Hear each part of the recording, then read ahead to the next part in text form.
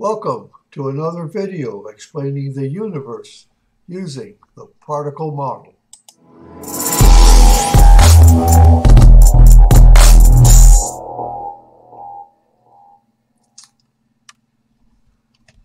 Well, today's video is about the senses, a study in biology.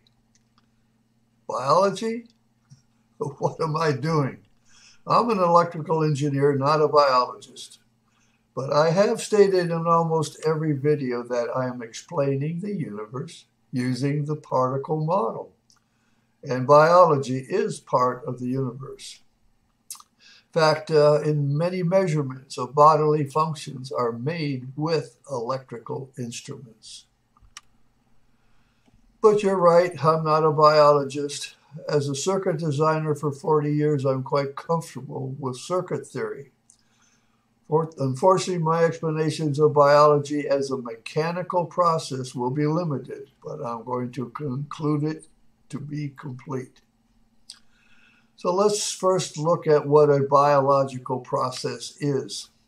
From Wikipedia, biological processes are the processes vital for living organisms to live, and they shape its capacities for interacting with the environment biological processes are made up of many chemical reactions and other events. Chemical reactions. I've covered chemical reactions in batteries, in electrolysis, cold fusion, and uh, it. So, biological processes, being chemical reactions, may not so be far off. And these events are involved in the persistence and transformation of our life forms, including metabolism and homeostasis. And uh, as a basic uh, reminder about G2 gravity in interactions that are part of the biological process. In the particle model, G2 gravity is the nuclear binding force the atomic binding force, and the molecular binding force. It's the force that holds things together, including you and me.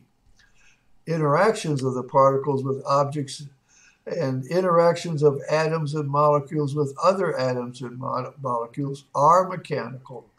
These interactions are true in physics, in chemistry, and in biology. Here is a good starting point. I recommend this uh, video. It's actually a series of four videos put, by, put out in 1997 by the Howard Hughes Medical Institute. The title is Senses and Sensitivity, uh, Neural Alliances about Sight and Sound. This is the link. This one link gets you to all four videos. And the four videos are each one hour long, so they're quite extensive, but uh, very informative. Today's video will uh, be discussing the first one, sensory transduction, called titled "Getting the Message."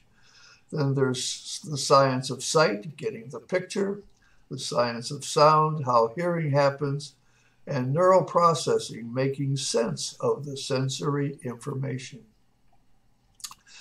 Okay, the first one is titled Sensory Transduction. And so, what is transduction? Well, a definition of transduction as a noun is the conversion of the stimulus from one to another. And in many cases, you'll see in the film, it's described as uh, that the stimulus is converted to an electrical current. And here's a very generalized uh, symbol of transduction. Here's a hormone or some environmental stimuli being captured by a receptor. This is a receptor and it's captured. Then a transformation occurs, a chemical event, generation of some uh, of a signal that causes a response. A simple example of that is the knee jerk uh, test that your your doctor might do, and I'll cover that at the very end. But the video talks about a, a, number of things, but the main emphasis is on the sense of smell, the olfactory nerves. And here's a picture of a rose and someone uh, breathing in and, and getting the uh, uh, these odor molecules into the nasal cavity. Uh, wherein there, uh, this uh, circle rep rep shows the uh, olfactory bulb. It's a little bit uh, too much in that picture, so let's blow it up a little bit, a piece at a time. This is a rose. It emits some odor molecules. They come into your uh, nasal cavity and they stimulate tiny little hair-like objects this olfactory bulb sits on inside your your your uh, uh, skull. This white part is skull, and this is the olfactory bulb.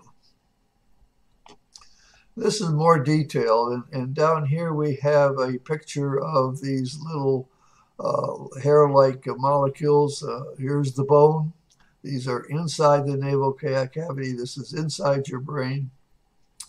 These are the odor odorant molecules, they call them here. And as they come by, they get trapped. These black parts, I know it's small, are, are, are shaped and geared to capture specific odor molecules.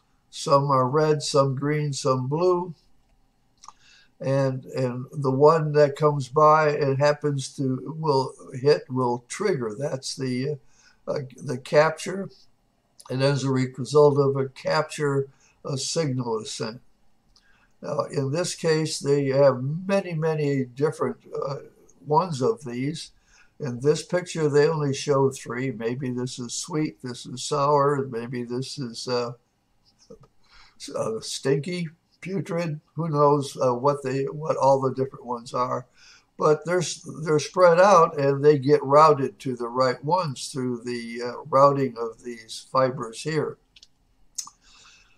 So once that's captured, you have a transduction which changes this into a a signal. And, and if you read this, I, I have to leave for myself. Olfactory receptors were activated and send electrical signals. That's what that says. Sorry for it being so tiny. This is an electrical signal. So what happens here, the particle model, in my opinion, when two molecules, the odor molecule and then the uh, receptor molecule combine and they're vibrating, you can, you, that vibration, you will release G1 particles. G1 orbitals that were part of the molecule and part of the receptor get released and start flowing at a very high speed up through the neural fiber to the brain. Very simple transduction, mechanical. And this is a picture at uh, 21 minutes 21.56 minutes before the end. That was the timestamp I captured at the time I got this uh, drawing of the electrical pulse. It shows voltage here and the distance here. Uh, how this is exactly measured to know what's inside the neuron is, I don't know. I don't have that answer. Uh, this is an explanation, their explanation of how it propagates. Well, my explanation is when those G1s release, they're already moving and they propagate along the fiber. And, and I redrew that. I, I can't, I, I got, this is the same figure here. I've made a reference point here where there are zero G1 particles.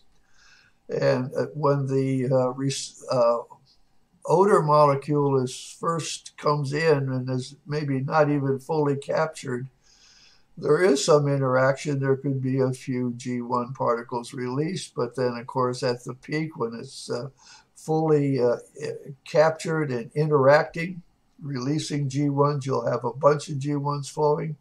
And then as it trails off, uh, there's some more until finally there's uh, none left that, that can be done. or maybe a, a residual one. So here there's none, and here there's a few, or just one. And they, these are G1 particles moving through the fiber at speed c, ultimately end at the brain, triggering that sweet, sour, or stinky smell in your brain, uh, telling you what the odor is. It's very easy to see in the particle model how a stream of G1 particles, which can form any waveform, can easily move through the fiber. These fibers are very small. The G1 particle is very small, moves very fast. Okay, well, he talks about a couple of other uh, scenarios. So here's one, just one picture, where a male moth is seeking a female moth. The female moth emits pheromones. These are odor molecules that the moth detects. The male moth has an antennae, and he's holding a branch here, a, dead, a branch off of a tree, and he, he's stating that as as the moth flies, he's kind of sweeping back and forth, flying, and this antenna is looking for the female pheromones. The female, on the other, his hand here is moving. The female, on the other hand, he says for some reason, and I don't get the, I have the whole picture, that it bounces up and down, back and forth, moving in some direction all three dimensions, uh, making it easier for this antennae, which doesn't have much surface area, but the combination of it being swept and the combination of the hormone moving around in all directions makes it uh, very uh, efficient enough so that when this pheromone is captured, the male gets the sense that a female is nearby.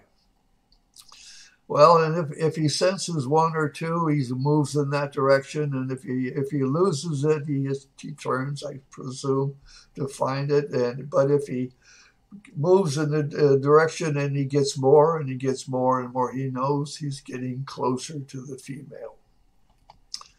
Very interesting process. Just as a sideline, uh, our lady friends, they uh, they tend to put on some perfume that uh, us guys tend to sense. And, and uh, if, if, you're walking down the uh, street and, and you walk, uh, you may not see a female, but all of a sudden, uh, it's happened many times. It happened to be in the elevator. I stepped into an empty elevator.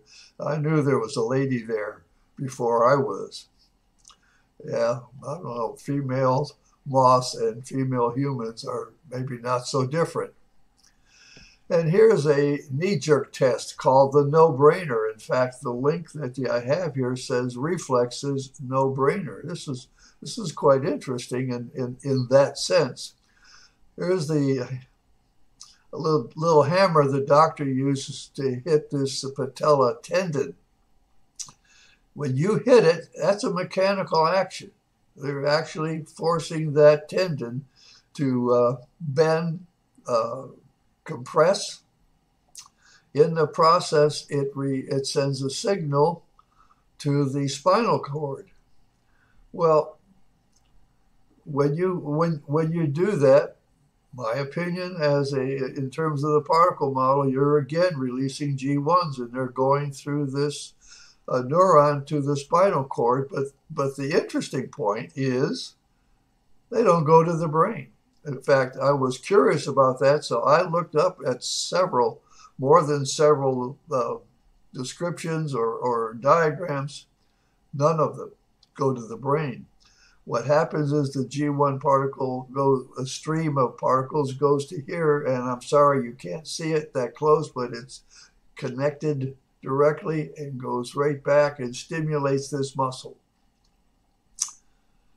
curious to me is that it's the same stream of particles going around here to here to stimulate that muscle.